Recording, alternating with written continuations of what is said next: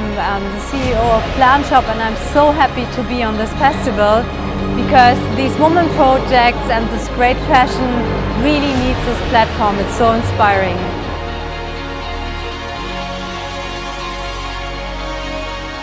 So we are here at Skoda at the Greentech Festival in Berlin. It's really a great place to show this all new electric car to our German customers. The Greentech Festival has been amazing. It is so great to see all the innovations for a better and greener future. As we are surrounded by people who are like-minded, but also celebrating change and have the strong will to create a better future because with alternative ideas and innovative ideas, we want to shape the future because the future is now.